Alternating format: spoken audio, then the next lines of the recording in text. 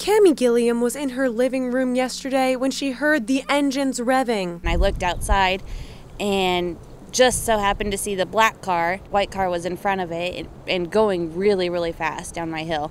And right after that, probably not even two seconds later, I heard it just a loud bang. From witness statements, Highway Patrol believes 38 year old Jason Kennedy and his 18 year old son were racing. Jason tried to pass his son and slammed head on into a UPS truck. We didn't know whose car it was. We didn't, you know, I mean, it was definitely looked bad though. You could just tell that there somebody had not made it out of the car. Jason Kennedy died at the scene. His son Weldon could be charged with involuntary manslaughter. For residents on Lakeview, the crash is an example of a problem they've been dealing with for years. First thing one of my neighbors did warn me about, um, because I do have a young child, is that the uh, traffic that comes down Lakeview usually is um, a lot of people speed down this road. It's a family neighborhood. I mean, there's a lot of kids in the neighborhood, and it does worry me that you know, I mean, that there are cars that speed up and down the road. This means constantly monitoring the kids and limiting where they can play. We rarely let our kids play out in the front.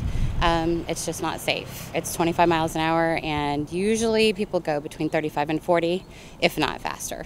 But residents say as long as cars are speeding, there's always possible danger. There's always that chance that one of them might happen just to walk next to the road and they'll be coming speeding over that hill. Juliet Dreyer, KRCG 13 News, Camdenton.